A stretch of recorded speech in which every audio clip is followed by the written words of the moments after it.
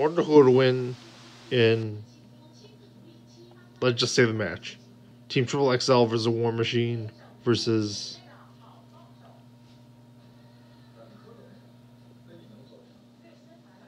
Whatever team, shoot.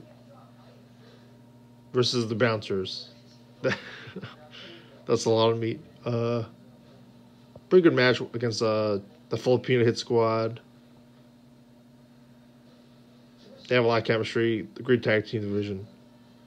Everything's current. It feels like NWA style plus AEW style, etc. What are your thoughts on subscribe?